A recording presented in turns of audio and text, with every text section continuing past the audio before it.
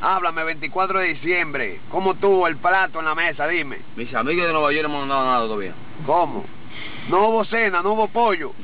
Hubo, hubo muchas cosas, pero para lo, que- lo que tienen cuarto, para mí no me han dado nada. ¿No te han dado nada?